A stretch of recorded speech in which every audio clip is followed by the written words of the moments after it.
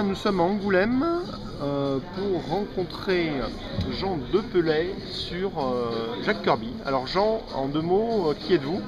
Ben, euh, Je suis un, fan de Kirby, qui est devenu journaliste un petit peu par, par obligation, parce que je constatais que ben, c'est vrai qu'en France, il y a beaucoup de gens écrits sur Kirby, des choses assez intéressantes d'ailleurs, parfois, mais il n'y a jamais une biographie réellement faite sur, ce génie du XXe siècle.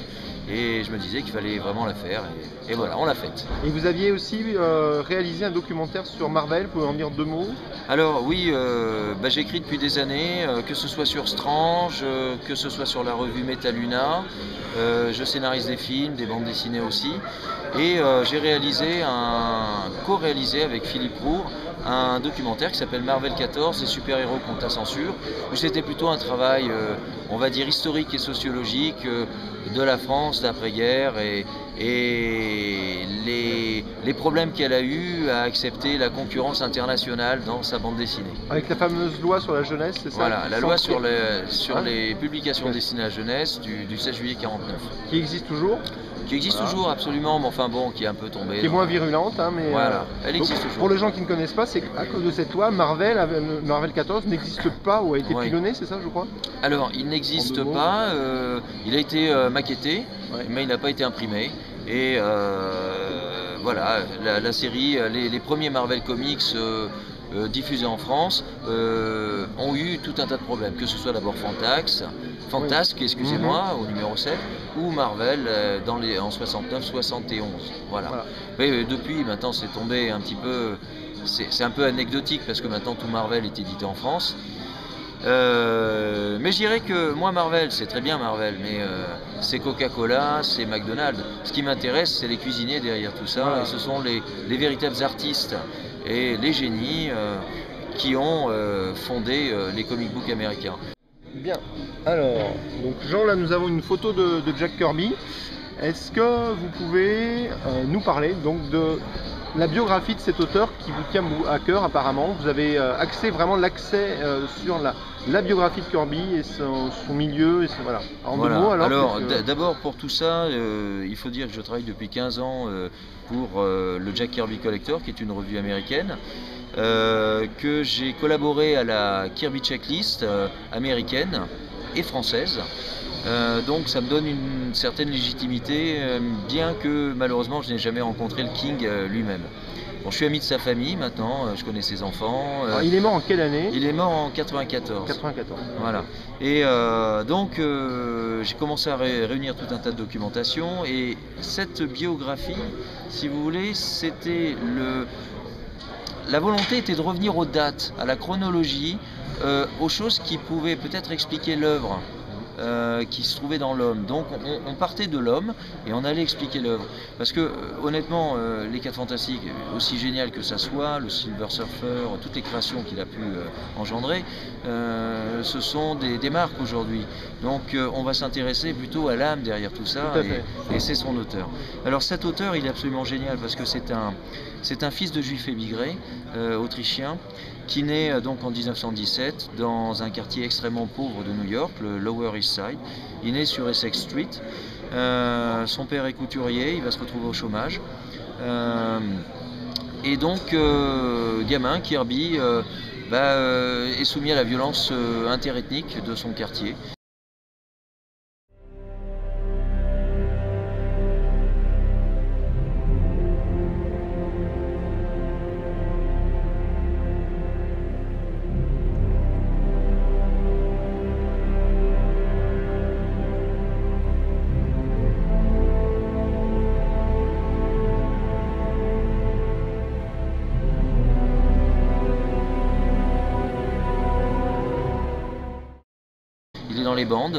Euh, il se bagarre, c'est un petit teigneux, c'est un petit gars euh, très nerveux. Euh, il aura un frère par la suite, beaucoup plus gros et beaucoup plus fragile, mais c'est lui le petit teigneux de la famille, celui qui, tient tête à son père, qui le critique parfois d'ailleurs, pour son fatalisme. Et d'un seul coup, un jour, il, il, découvre un pulp, un pulp américain, et il tombe amoureux donc de la science-fiction. Il découvre aussi le cinéma et il découvre les comic strips. Et euh, il va se passer quelque chose dans sa tête et il va se mettre à dessiner. Il a, ses parents n'ont plus assez de, dessin, de papier à dessin, il dessine sur les murs. Il, se fait, il a tout un tas de soucis, tout un tas de problèmes à cause de ça. Il essaye d'aller à l'école, il n'a pas d'argent pour se payer les études à la Pratt Institute. Et euh, finalement, il va finir, bon an, mal an, par rentrer dans un petit syndicate, un petit groupe de presse, et faire des dessins humoristiques. Et euh, de là, bah, d'une étape à l'autre, euh, il a aussi fait des dessins animés chez Fleischer. Il a été euh, petite main dans une chaîne de fabrication de dessins animés de Betty Boop et de Popeye, en, syndicate, en petits éditeurs de, de, comics. Il va gravir petit à petit les échelons, mais toujours un petit peu dans l'ombre. Et c'est sa rencontre avec, je dirais, Joe Simon, qui est un, un partenaire qui est beaucoup moins doué que lui au, niveau dessin et au niveau euh, euh, style, mais qui est extrêmement fort euh, d'un point de vue communication et d'un point de vue design, qui va lui donner un petit peu le, polish qu'il n'avait pas. Voilà, donc ça c'est la première grande étape. Donc c'est quelqu'un qui survit à son environnement, extrêmement défavorisé de départ. Alors bon, tout ça bien sûr c'est détaillé avec toutes les œuvres. Il va bien sûr après les petits éditeurs, il va travailler chez Timely, l'ancêtre de Marvel, où il va créer avec Joe Simon, qui est surtout Joe Simon, euh, le personnage de Captain America. C'est même Joe Simon qui le, crée, on va dire, et euh, Kirby qui va l'animer avec Jenny. Ils vont faire quelques autres personnages, ils vont partir ensuite chez DC, suite à une brouille avec l'éditeur ils vont faire d'autres succès. Donc c'est d'un seul coup Simon et Kirby enchaînent les succès. C'est euh, une véritable, euh, un véritable tandem de choc dans l'industrie des bandes dessinées, un peu comme euh, les Liefeld, McFarlane chez Image dans les années 90. C'est vraiment le, tandem qui a le vent en poupe. Simon est au scénario et non, c'est compliqué. C'est une création organique. Ah oui. C'est-à-dire que les deux vont fabriquer des scénarios. On va dire que Jack va faire les layouts d'à peu près tout, en laissant souvent le design de la splash page ou de la couverture à Joe, mais tout en redessinant par-dessus, et Simon ancre euh, à la fin, et ce qui donne euh, cette abondance de petits traits euh, mm. que on peut aimer ou pas. Voilà.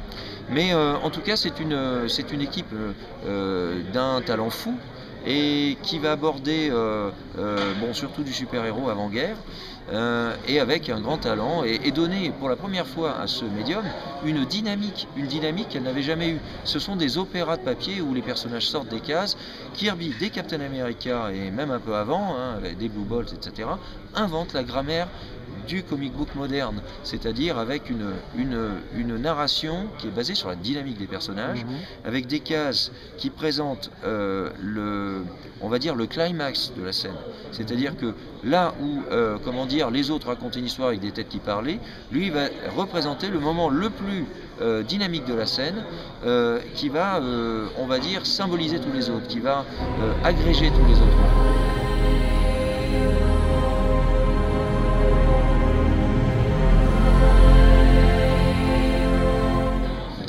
Voilà, et donc après se passe euh, pour moi un événement absolument euh, fondamental dans la vie de Kirby, c'est la guerre.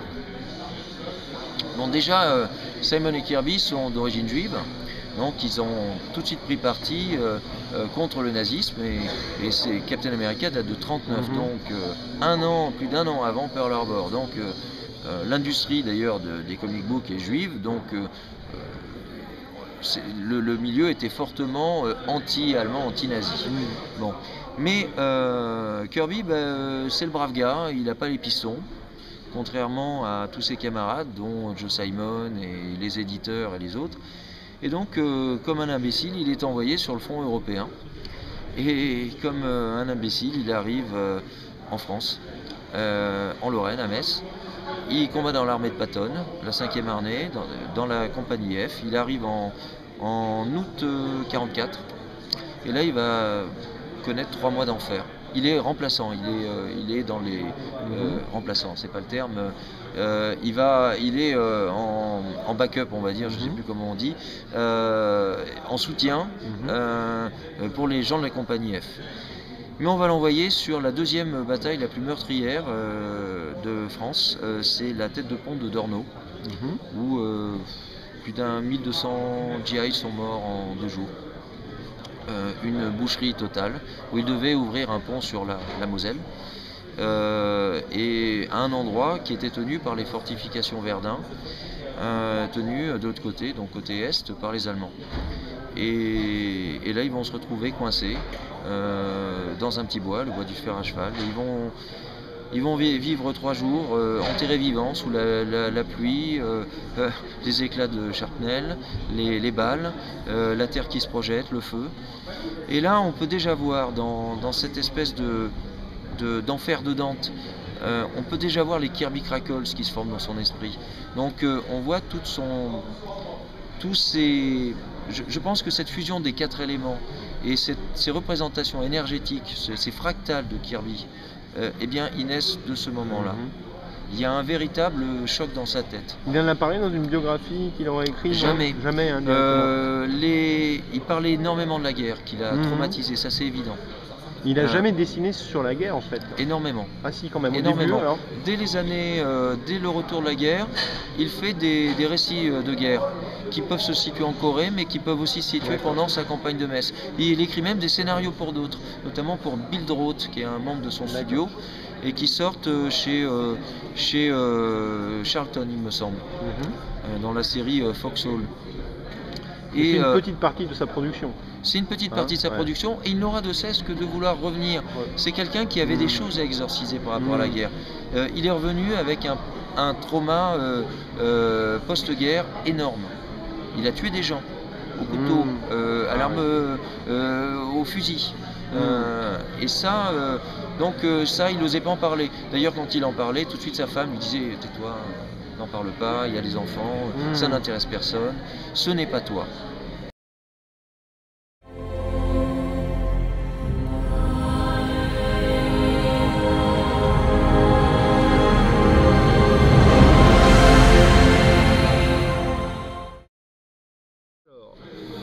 Alors maintenant Kirby, c'était un homme qui n'était pas seul, il avait une famille. Alors est-ce que tu peux en dire deux mots, euh, l'impact sur sa créativité et son œuvre Alors euh, oui, il a une femme qui est, euh, qui est une femme avec une personnalité énorme et qui va lui servir de soutien toute sa vie parce que Kirby, comme je l'ai dit, il est revenu avec un, trauma post, après la guerre.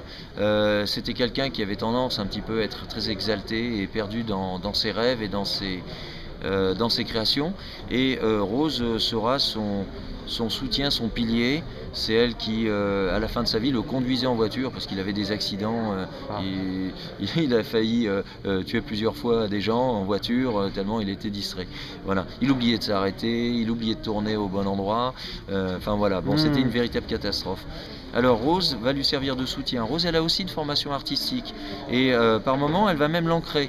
Euh, c'est-à-dire que, on va dire que dès les années 50, quand Kirby travaille chez DC notamment, euh, euh, au moment des petites histoires d'horreur et des challengers, Rose va, prendre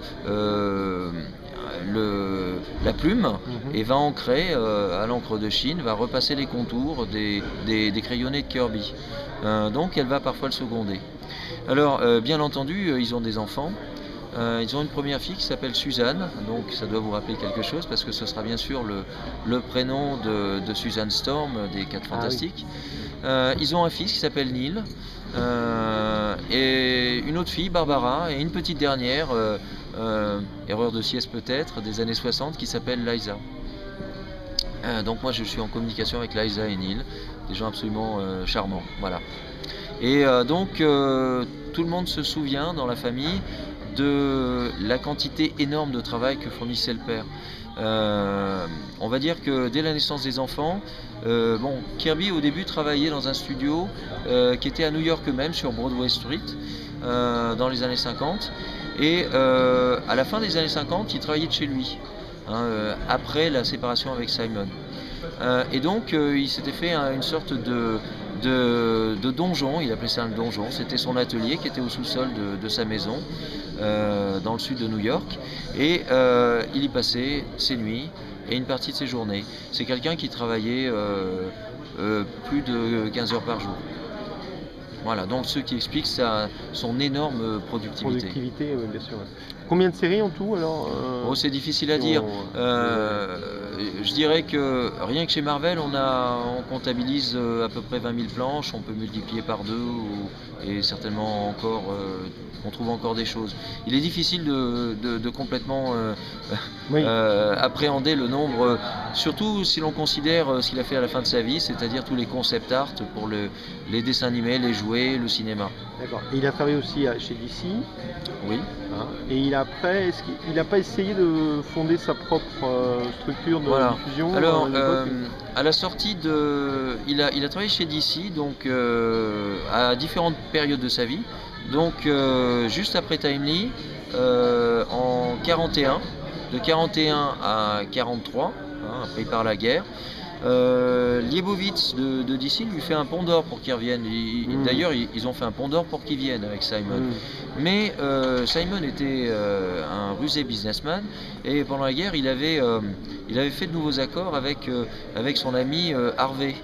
Et, et donc Harvey lui a proposé de meilleures conditions. Et donc ils ont fait un enfant dans le dos à, Liebowitz, surtout Simon. Et euh, ce qui fait qu'ils se sont un peu grillés chez, chez DC. Bon, euh, Kirby reviendra euh, un petit peu la queue entre les jambes euh, dans les années 50, sans Simon bien entendu.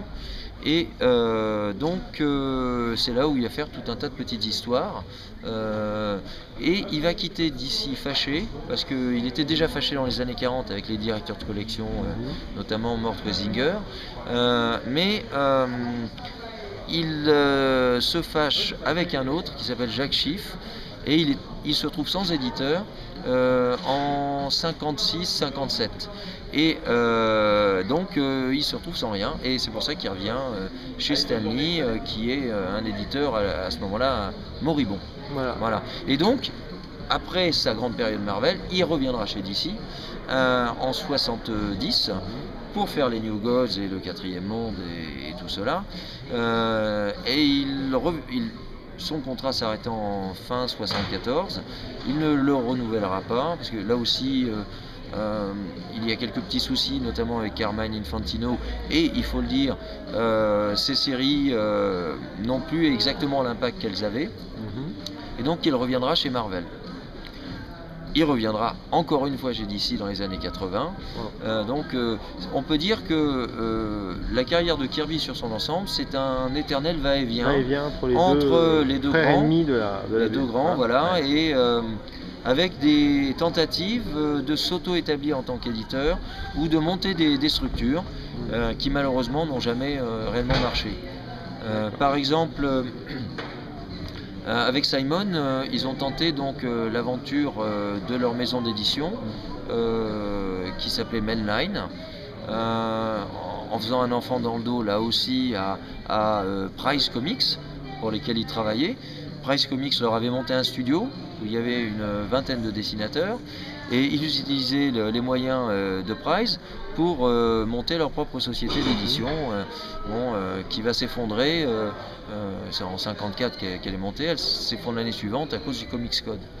euh, à cause de l'avènement et de, de la censure dans la bande dessinée et les- et l'espèce de, de, de- de panique qui saisit les comics. Euh, les gens sont très remontés contre les comics à l'époque, qu'ils jugent comme étant responsables de la délinquance juvénile. Voilà. Donc euh, ça c'est la première tentative de monter une société d'édition pour Kirby. Il va réessayer euh, en, en 74. Il trouve quelques investisseurs. Alors j'ai pas trouvé qui étaient ces investisseurs. C'est un peu mystérieux. Mais en tout cas, euh, à la fin de son, de son run chez DC, il est tenté de, monter sa propre société qui s'appellerait Jack Kirby Comics. Et il fait euh, quelques projets, notamment euh, Thunderfoot, euh, qui est une sorte de Yeti. Il y a Satan Six, qui a fini par, sortir chez Tops dans les années 90, et quelques autres projets.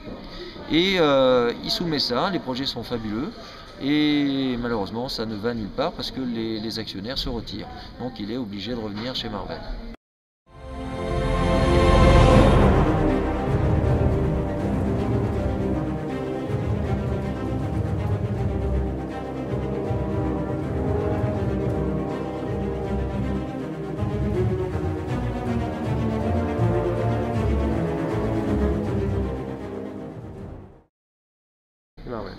Et donc, un autre grand duo dont on n'a pas parlé encore, c'est le duo avec Stanley. Alors, c'était euh, quelque chose de, très important dans sa carrière ou... Absolument. Alors, Stanley, euh, c'est des rapports de je t'aime moi non plus. Mm. C'est quelque chose. Alors moi, ça me touche d'autant plus parce que euh, il y, a des- il y a des torts partagés, bien sûr. Euh, et donc, euh, on ne peut pas voir la situation de façon totalement manichéenne. Et ça, je Mhm. crois que c'est bien important de le dire. Stanley, c'était le, neveu par alliance de Martin Goodman, l'éditeur de Timely Marvel. Euh, il se trouve que euh, Goodman a trahi euh, Simon et Kirby en leur volant leur profit sur Captain America en 41. Euh, mais à la même époque, Simon et Kirby, qui précisons-le n'avaient pas de rapport de- d'exclusivité avec Timely, mais qui étaient quand même directeurs de collection et Mmh. directeurs artistiques de la société, euh, euh, euh, faisaient aussi des petites trahisons en travaillant chez Fawcett et en réalisant le premier numéro de Captain Marvel Ah. et d'autres petites choses encore ailleurs. Donc voilà. Oui. Euh, la personne qui les aurait trahis auprès de Goodman, ce serait Stanley. Ah oui, voilà, c'est... Donc euh, Stanley qui avait 17 ans à l'époque, qui était un jeune grouillou euh, très pénible et très euh, euh, bah, comme comme on imagine Stanley, c'est-à-dire exubérant euh, euh, et qui peut taper sur les, les nerfs de quelqu'un, Ouais. mais, mais aussi très doué et, et, euh, et avec une, des potentialités extraordinaires. Bon, donc déjà il y a un, un clash avec, entre, entre Kirby et Stanley. Voilà, bon. Suite, donc, comme je l'ai dit, aux problèmes qui se sont faits avec euh, les, DC donc, à la fin des années 50, Jack Kirby est obligé de revenir chez euh. La société à l'époque n'a plus de nom. Euh, elle a perdu son distributeur. Euh, les structures de Martin Goodman portent différents noms. Euh, ce sont des petites structures, alors euh, des petits labels. Euh, ça s'appelle pas réellement Atlas. Atlas, c'était du temps de leur distribution et il n'y a plus de nom. Voilà. C'est une société qui a implosé. Voilà. Et Kirby se retrouve à devoir dessiner chez cet éditeur pour des tarifs qui sont mais totalement ridicules. Euh, il dessine euh, pour quelque chose comme euh, euh, 20 dollars la planche. Et alors qu'avant, il touchait près du double chez les autres éditeurs. Bon, il est, obligé, donc il va compenser par une surproduction. Et donc, euh, bah, est content de le retrouver. Et euh, Stanley va tout faire pour qu'il s'y sente bien euh, dans cette société. Et euh, Stanley euh, est tout seul parce que finalement Goodman lui a coupé tous, les, tous les crédits possibles pour faire une société in- intéressante. Et donc Stanley est obligé d'être à la fois directeur de collection, scénariste Mhm. et de s'occuper de toute la production. Enfin, c'est un, un- un travail de titan. Euh, Stanley écrit des scénarios euh, à tir larigot sur sa machine, sur sa Remington.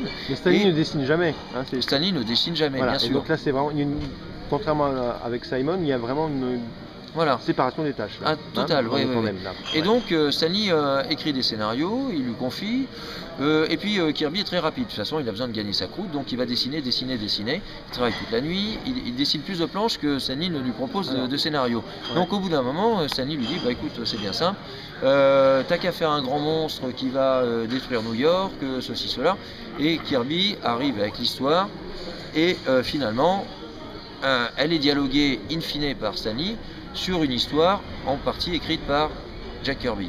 Bon voilà, Ouais. donc on commence comme ça et euh, le pli va être pris, euh, on va dire, sur euh, dès les premiers, on va dire, on suspecte dès le numéro 6 de Fantastic Four. Il y a déjà une forte empreinte de Kirby là-dedans. On a retrouvé plein de, de scénarios de, de Stanley de l'époque, mais on n'est pas sûr que tout soit vrai Ah. et qu'il n'ait pas été écrit a posteriori, notamment celui de Fantastic Four numéro 1. Et le surfeur d'argent, alors c'est une création de qui? De Kirby. Euh, De- le Kirby a complètement créé le surfeur d'argent. Alors voilà, tiens, ça c'est un excellent Oui, exemple. Parce que Stanley on le revendique actuellement comme étant. euh, Alors ça, euh, je crois pas. Je crois que là-dessus, Stanley a toujours été prudent. Il a toujours, euh, il a toujours, non, non. Enfin, en tout cas, il dit que c'est un des personnages auxquels il tient le plus. Ça, c'est clair. Hein, il l'a re- rebooté avec Moebius. euh, voilà. Alors c'est un personnage. C'est, euh, ouais. Fantastic Four 49-50, euh, 48-50, la trilogie Galactus. Euh, pour moi, le moment où la série euh, obtient son statut de série cosmique et de l'aspect génial du pop art, c'est ce moment-là. Mm. En, en gros, ça commence en 65-66. Joe est revenu à l'ancrage. Et euh, Stanley est tellement débordé par tout ce qui se passe autour de lui, ses, magazines marchent tellement bien grâce à Kirby, mm. grâce à Ditko aussi, euh, euh, que finalement il ne sait plus où donner de la tête et, et il n'a plus le temps. Il n'a plus le temps d'écrire les scénarios. Donc là, qu'est-ce qui se passe? La légende dit qu'il aurait dit à, Jack écoute, je sais absolument pas quoi faire dans le prochain numéro, tu vas les faire affronter Dieu. Et donc, euh, make them fight God. Et donc, Kirby pond euh, la trilogie de Galactus, et il se dit, ben, c'est pas possible, Dieu peut pas arriver sur Terre comme ça, il va être annoncé, il lui faut un héros. Et à ce moment-là, euh, ces gamins qui ramenaient des, journaux de surf, donc de, cette nouvelle vague à la mode venue de Californie, ben, quelque chose se passe dans sa tête. Il, il associe le surfeur à un surfeur cosmique. Et le personnage s'appelle The Surfer. Ouais. va le transformer en The Silver Surfer. Mhm. Et euh, va rajouter les dialogues, euh, tout le pathos mhm. qu'on lui connaît. Mais tout était déjà écrit dans les notes de marge qui sont au bord des pages. Donc finalement, c'est une collaboration à ouais, 80-20 euh, peut-être. Mhm. Voilà. Mais la vision de Dieu qu'il a, du coup, en Galactus, c'est pas le, Dieu d'amour de l'Évangile, c'est un Dieu démurge, un Dieu destructeur, un Dieu. Euh, Alors oui, c'est un Dieu plutôt de l'Ancien Testament. Hein. C'est Galactus, c'est le dévoreur de planètes. Euh, mais bon, la notion de Dieu chez Kirby, c'est une notion. Euh, bon, c'est quelqu'un qui est su, qui, est juif, hein, et qui sur, de plus en plus va revenir à ses, sources, hein, vu qu'en 84 il va faire un pèlerinage à Jérusalem. Euh, et euh, on sent bien euh, en 71 par exemple avec les New Gods qui revient au judaïsme, et parce que les, les New Gods ça ressemble vraiment aux au séphirotes de, la cabale juive. Mhm. on, a vraiment des choses. bon voilà, et je pense que il donne libre cours à, ça effectivement à partir de, Fantastic Four. Même si avant il y a déjà des choses cosmiques, des entités euh, un petit peu euh, euh, surhumaines et quasiment divines qui apparaissent dans certaines histoires. Et on filtre peut-être un peu avec l'ésotérisme ou la cabale, mais pas, on va dire pas la religion officielle. On est sur des, personnages qui sont doux, des personnages complexes en général, Kirby si, on, par exemple. Si on veut parler de, des New Gods et de la Kabbale, je dirais que c'est pas euh, la cartomancie ou, ou ce genre de, d'ésotérisme ou de charlatanisme. Hein. On, est sur, le, sur l'arbre de vie euh, juif, hein, euh, des séphirotes qui sont envoyés par le Ensof, hein, qui est l'entité primordiale de Dieu, qui est la mmh. source mmh. dans les New qui Est la source dans les New Gods. Voilà. Et qui va donner tous les, tous les aspects, tous les rayonnements de Dieu, qui sont aussi bien dans, dans Darkseid, Darkseid que, que dans Orion, euh, que dans High Phaser et les autres. Alors, quel serait parmi tous les héros que Jack a créés ton préféré? Alors, euh, bon, c'est bien sûr la chose. Mais euh, la chose des quatre fantastiques, parce que c'est Jack Kirby lui-même, c'est un individu brut de décoffrage qui paraît petit renfrogné, bougon, qui mâchouille son, son, son, cigare, son Royton cigare, euh, mais, mais, qui au fond de lui est, est un type euh, avec un cœur d'or. Euh, il y a beaucoup d'éléments autobiographiques avec ses combats de rue avec les gangs, notamment le, gang du Yancey Street, qui est celui de, de, de, Delaney Street, euh, euh, qui était la rue voisine de Essex Street, avec ils se battaient entre eux. Euh, voilà, et puis c'est un personnage qui est extrêmement pathétique, extrêmement. on connaît tout ce personnage. C'est Jack lui-même. D'ailleurs, Stanley l'a très bien compris, parce qu'il l'a fait parler très vite comme, Jack.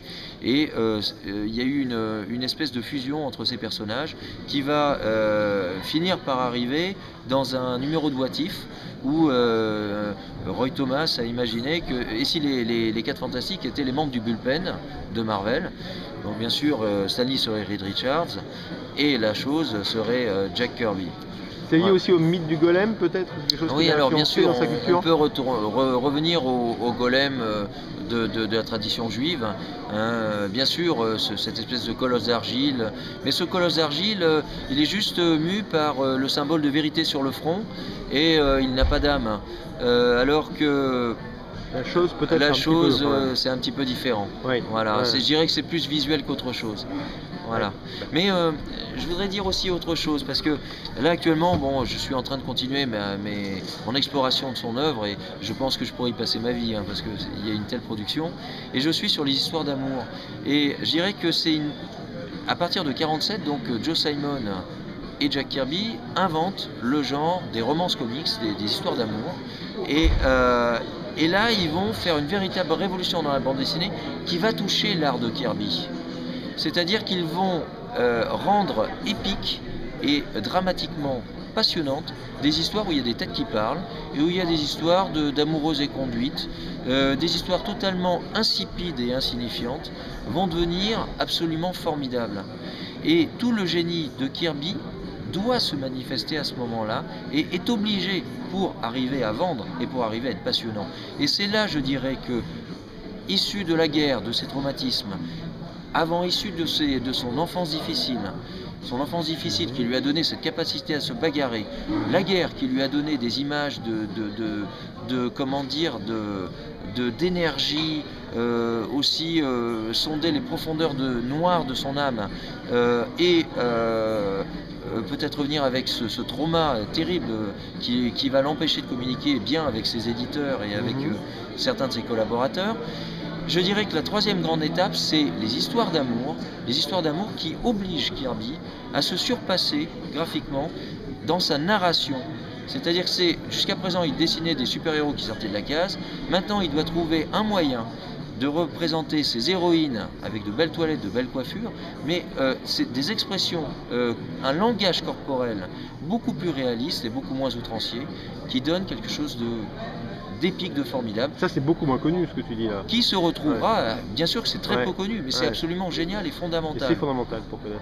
Et euh, moi, je, je, je dirais qu'il y a deux, trois histoires de, de, de Young Romance que je trouve que, que je mettrais au panthéon des œuvres de, Ki- de Kirby. Et ça, on peut trouver dans ton livre. Tu as mis, Euh, tu as mis je les cite, images. je les cite, mais malheureusement c'est difficile à trouver. C'est difficile à Il y a, trouver, il y a voilà, c'est quelques rééditions qui sont Ouais. magnifiques, que je conseille, hein, qui sont euh, citées dans le livre. Et vraiment, il faut y aller. Parce que de là, c'est pour ça que Kirby devient génial après. Parce Mhm. que justement, ce langage corporel qu'il donne à ses corps, à ses- cette mise en scène de Mhm. ces acteurs de papier, eh bien, elle est là, mais elle vient des romances comics. Euh, Jack Kirby, tome 2 à venir, et tu auras fait le tour de, ce- de l'œuvre ou pas? Oh, je crois que j'aurais jamais fait le tour Jamais de l'œuvre. Ouais. Euh, restons modestes. euh, on- euh, ce que je puis dire, c'est que euh, je travaille depuis 15 ans de- dessus, 5 ans de façon extrême et on va dire outrancière. Dis- disons que je me suis imposé un rythme de travail à la Kirby depuis 5 ans. Waouh. Donc, euh, je- euh, restons très modestes. Kirby a travaillé comme ça toute sa vie. Voilà. Donc, euh, je, je ne pourrais, je ne pense, même à la fin de mes jours, je n'aurais pas fait le tour de son œuvre. Il y aura toujours quelque chose qui m'échappera. Des dessins de présentation de dessins animés que je n'aurais pas vus, ou une petite histoire d'amour qui m'aura échappé. Donc, c'est ça aussi qui est beau dans, dans cette œuvre, c'est qu'elle, ouais, on va la connaître, on va, on va ressentir l'auteur, on va reconnaître le, on, on- on va le, le- le connaître cet auteur. On, on le connaît. Moi, je vis avec lui depuis 5 ans. Mhm. Euh, bon, il est mort depuis 94, mais je, je vis avec lui. Euh, je suis avec ses proches, je communique avec eux.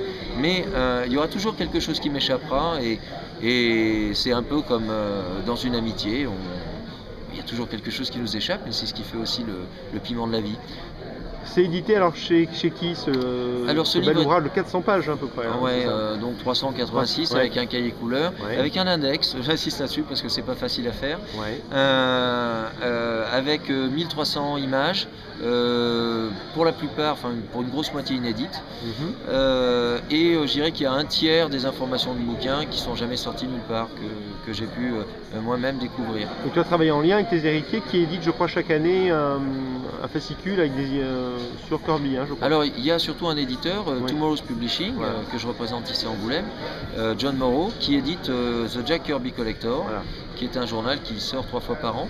Mhm. euh, qui est un super magazine euh, auquel je collabore depuis 15 ans euh, et qui et dans la lignée de ça est venu euh, donc un, un Kirby Museum euh, qui est un- une institution euh, au départ qui était une institution on va dire euh, virtuelle qui euh, dont le but était de scanner tout ce qui existait de. Kirby Mhm. et donc aujourd'hui il y a une bibliothèque absolument effarante euh, aussi bien de crayonnés que de, que de planches originales Et euh, donc euh, le Jack Kirby Estate protège tout ça. Et moi, bon, bien sûr, tout ça a été fait avec leur accord et avec une petite compensation financière. Alors où est-ce qu'on trouve, où est-ce qu'on peut commander, trouver ce, be- ce beau livre d'art finalement? Parce que Alors, ce livre d'art euh, est pour le moment n'est pour le moment pas diffusé. On- le diffuseur euh, qui euh, doit le faire euh, a pris du retard. Ce sera finalement diffusé, mais que dans quelques mois. Et pour le moment, on le trouve chez l'éditeur, chez donc Néophélis, qui est un éditeur marseillais, et euh, vous allez pouvoir trouver euh, tout un tas d'informations sur Internet là-dessus Alors, le tome deux. ouais. doit sortir à la fin de l'année. Euh, il est terminé au niveau écriture. Mhm. Euh, les illustrations, il y en a encore 1300, ce sera un livre de la même taille. Euh, mais euh, bon, il, reste à- il nous reste à le monter, Voilà. donc euh, c'est pas une mince affaire. Avec tout le, le quatrième monde qui sera évoqué Voilà, le- donc on fera la deuxième partie Marvel, hein, de 66 à 70, la période d'ici avec les New Gods, Kamandi, etc. Le départ, le- la nouvelle arrivée chez Marvel, euh, le départ de Marvel, euh, les dessins animés et euh, Captain Victory, Pacific Comics et compagnie. Plus après les nouveaux travaux d'ici et les travaux pour le cinéma, notamment avec Charles Band, et la fin de sa vie, et l'héritage.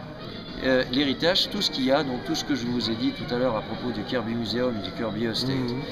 Et euh, je dois dire que beaucoup de choses se passent et, euh, et qui vont, j'espère, asseoir Kirby comme étant l'un des génies du XXe siècle. Mhm.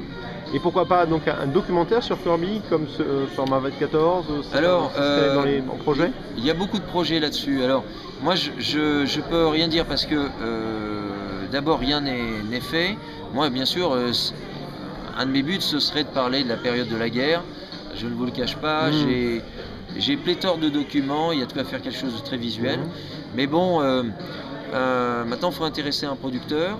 Euh, d'autre part, euh, d'autre part, il y a d'autres projets beaucoup plus généralistes sur Kirby qui, qui sont en, en stand-by. Mhm. Bon, je ne sais pas ce qui va se faire. Il y a déjà eu un très très bon film sur, qui s'appelle Jack Kirby Storyteller qui est en, disponible sur le DVD américain de Fantastic Four, l'édition limitée, et dans lequel euh, Mark Evanier euh, et d'autres historiens américains, euh, John Morrow, euh, Liza Kirby sont interviewés. C'est très très très bien. Donc en étudiant cet homme là depuis plus de 5 ans déjà, quelle serait finalement la, la leçon de vie que, que retirerait de son parcours? C'est Kirby, c'est un honnête homme. C'est un homme intègre qui a donné tout ce qu'il avait dans n'importe quel travail, qu'il soit le plus insignifiant euh, travail de commande jusqu'à la série euh, euh, prestigieuse. Il a toujours donné tout ce qu'il pouvait. C'est quelqu'un qui était un monstre de travail, qui était un génie de la création et qui était un bon père de famille. Donc, euh, ouais, je crois que c'est une leçon de vie, d'une façon ou d'une autre, pour un, un petit Autrichien juif euh, euh, de, de ses parents, arrivé dans un quartier très modeste, voire malfamé de New York, qui a survécu, survécu au champ de bataille. Voilà, de se propulser au rang de, de mythe du XXe siècle, je trouve que Voilà. et dans l'ombre de gens qui, qui n'ont pas cherché euh, trop à lui laisser la place dans la lumière qu'il méritait. Mhm. On va dire ça comme ça, j'ai rien contre Stanley, bien au contraire, non, mais c'est. euh, euh, vrai qu'il mériterait mieux. Voilà, juste retour de balancier. Donc Jack Kirby, le, titre de l'ouvrage, alors on va le remontrer une dernière fois. Jack le Kirby, super-héros de la bande dessinée Jack Kirby par Jean Depelay chez euh, Néophélis. Néophélis. Eh bien, merci beaucoup et euh, peut-être à bientôt pour une exposition Kirby, on ne sait jamais. Ah, ce serait très très bien. Très bonne Nous idée. espérons, peut-être, croisons les doigts Voilà, et euh, espérons que dans quelques années, le Festival d'Angoulême puisse accueillir justement des œuvres du Kirby et Estate. rendre hommage qui n'a jamais été fait jusqu'à présent. Voilà, Voilà, absolument. donc bonne idée, à bon attendeur. Salut, merci.